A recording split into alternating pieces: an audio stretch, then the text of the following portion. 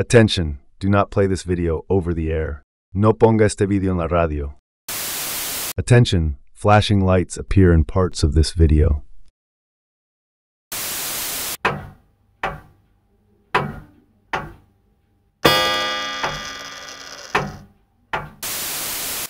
The Oklahoma Geological Survey is reporting that the current increase in earthquakes in Oklahoma over the past few years has been correlated to a sharp increase in the amount of fracking done throughout the state.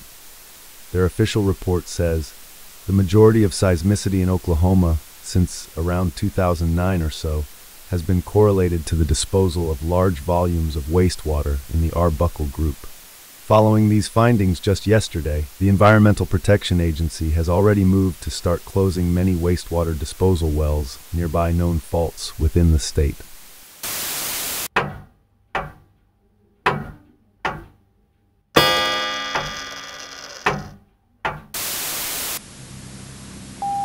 Hey, I caught one. Nice, what size? It's a magnitude 3.9. Where's it at? Oddly enough, it's practically right at Sooner Lake. I don't remember there being a fault there. Neither do I. Odd. Yeah, let me actually check our fault map real quick. Good idea. Oh, uh, there's not a fault there, only a power plant. Well, it looks like we're the lucky two who got to find a new one. Wow, so much fun. Remember Jeremy? Yeah, he was buried in paperwork for a week and a half after he found one. Yeah, real fun. Oh shit, oh no.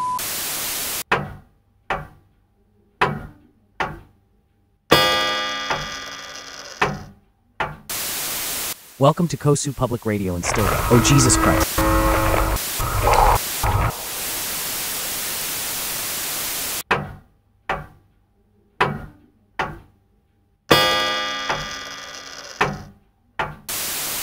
Good morning, everyone.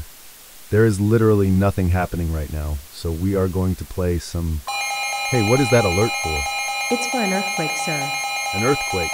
How are you so calm? Everyone, duck cover and hold on. Earthquake, earthquake. Severe shaking expected in 3 seconds.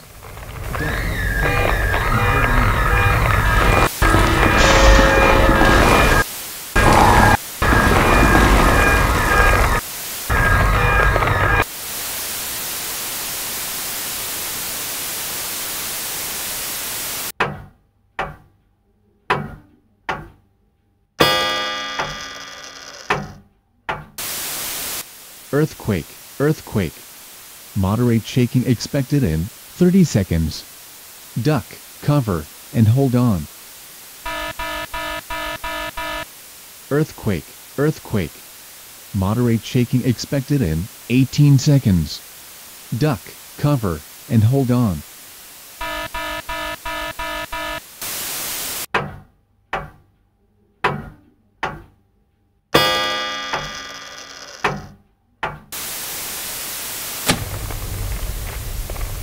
Is it over? I think so. Wow, that was uh, a thing that happened. It's a miracle our studio isn't more damaged. Look outside. What? Look outside.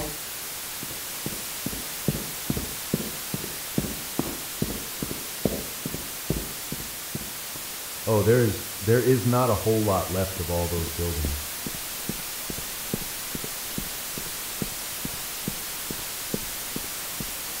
Oh my goodness. All of our neighbors are practically flattened. I guess bricks don't help as much in an earthquake as they do a tornado. Hey guys, our building might still be standing, but I don't think it's going to stay that way. What makes you say that? There are a shocking number of very large cracks in the wall. That's probably not good.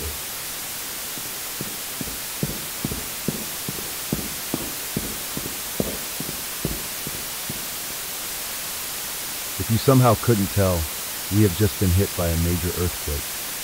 Currently, a large number of structures nearby us are in a state of critical disrepair, and the station is threatening collapse. We're going to be heading to our mobile broadcast truck.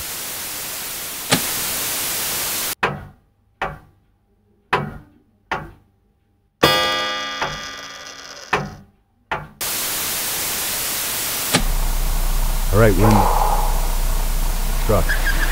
That's our antenna. Hurry up and drive. That's what I'm doing.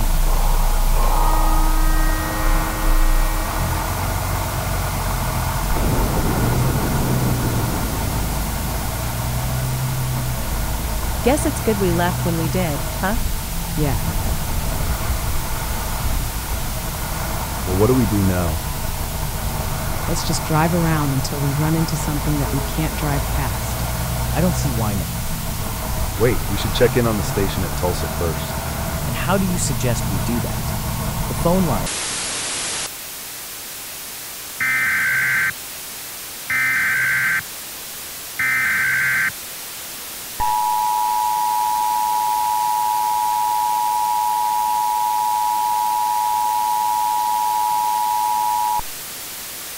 This message is being transmitted at the request of the Federal Emergency Management Agency.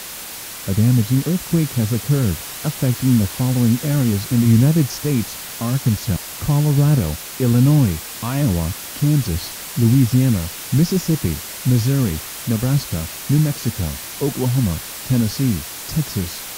The epicenter of this earthquake was near Perry, Oklahoma.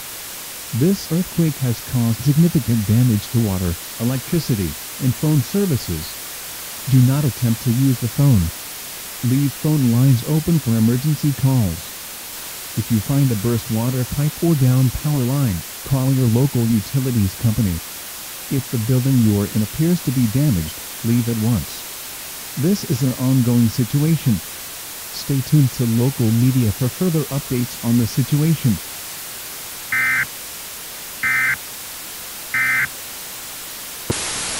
Very sorry that I care about the well-being of my staff. You do realize we have a satellite phone, right? We can call them. Oh,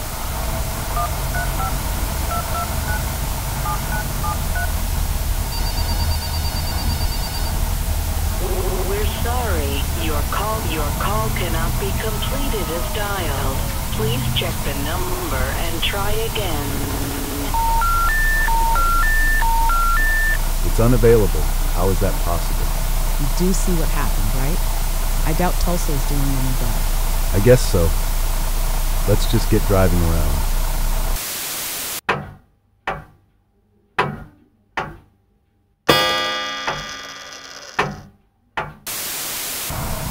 Well, didn't take us long to hit a dead end. That building sure isn't in great shape.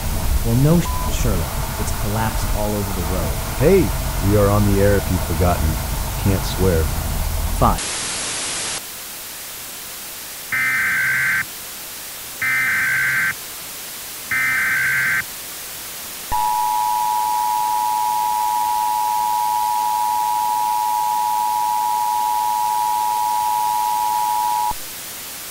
This message is being transmitted at the request of Oklahoma County DES.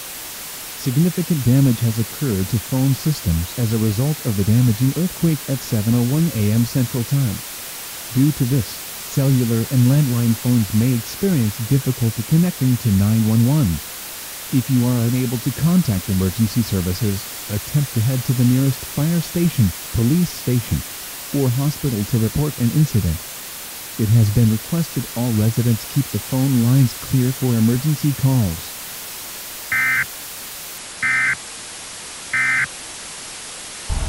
I mean, I can't say I'm surprised, but still.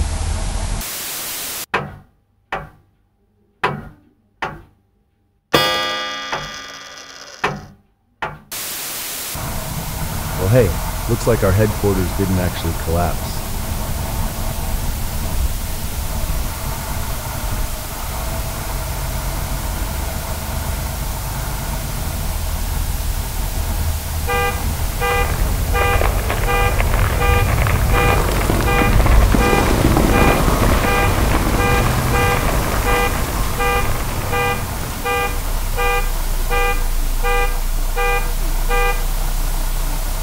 Looks like I spoke too soon.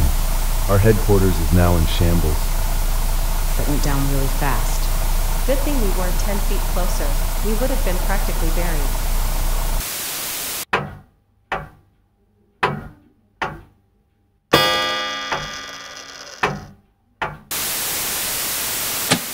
Hello? Hello? Can you all hear us? We're broadcasting from just outside our Tulsa office. Our van was badly damaged and our station completely collapsed due to the aftershock a few minutes ago. Right now, we're trying to get our satellite phone working to call Michael, but that might take a while. In the meantime, we're going to play music just to stay online. Up with it, girl. Rock with it, girl. Show them it.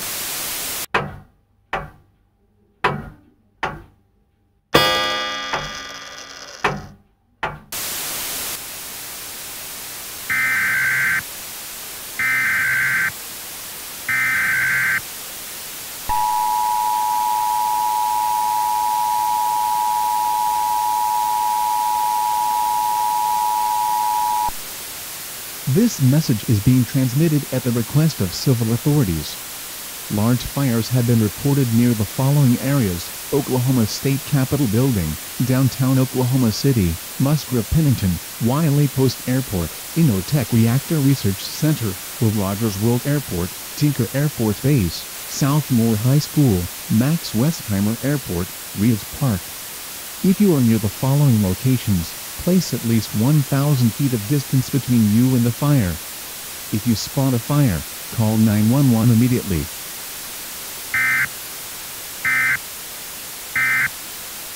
Of course there's fires. Of course. Why wouldn't half the city be on fire?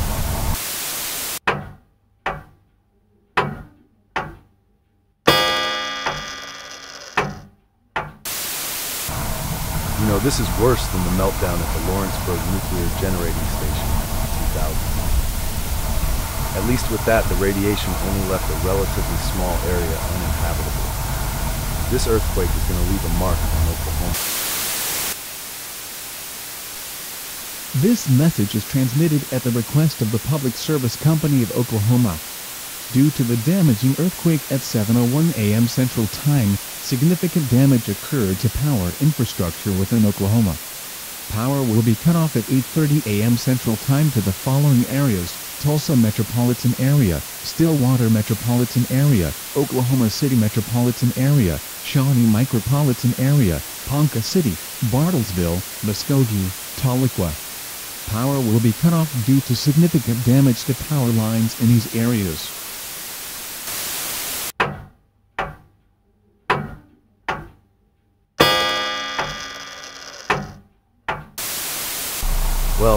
Half the city on fire and the other half flattened from the probably like six or seven aftershocks, things aren't looking too great. We can't exactly go anywhere, so we're just sitting here talking.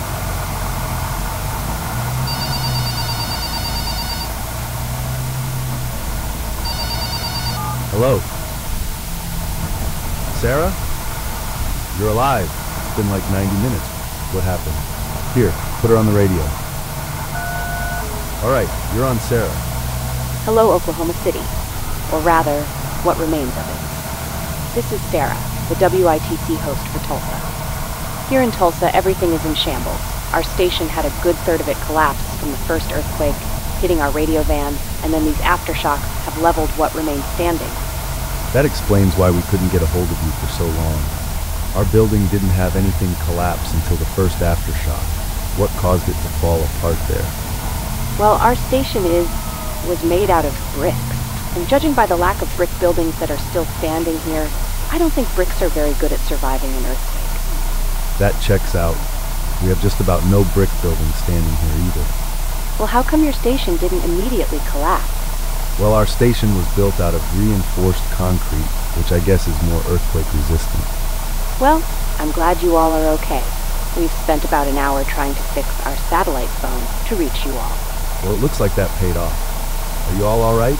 I mean, we got the warning in time to not get hurt too badly. Mostly just some scraped elbows and whatnot.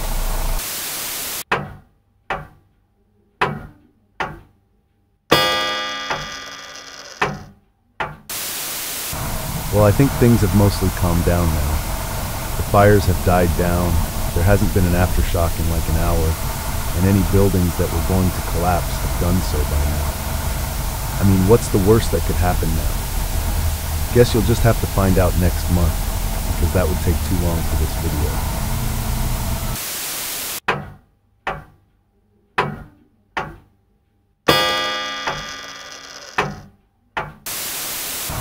Good afternoon, everyone. This just in, the governor of Oklahoma, Mr. Jerry Ottrick, has just declared a state of emergency for Oklahoma. Only took him about 29 hours. I think that's a new record.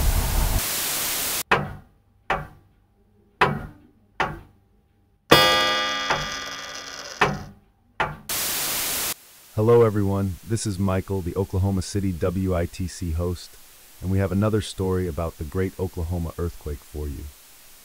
After 26 days of likely nonstop work from plumbers, boil water warnings have been lifted in most areas of Tulsa, Oklahoma City, Shawnee, Muskogee, Bartlesville, and Tahlequah, though a boil water warning remains in effect for cities like Ponca City, Stillwater, and Perry, just due to the sheer level of damage there. It's a similar story with the power, with most places impacted having power restored recently. These plumbers and linesmen have been in the danger zone, risking themselves for the sake of rebuilding.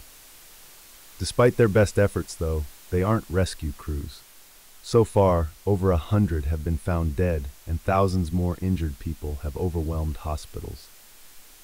The damage from this earthquake is so far valued at approximately $12 billion so far, which is double the Loma Prieta earthquake. So yeah, pro- probably not good.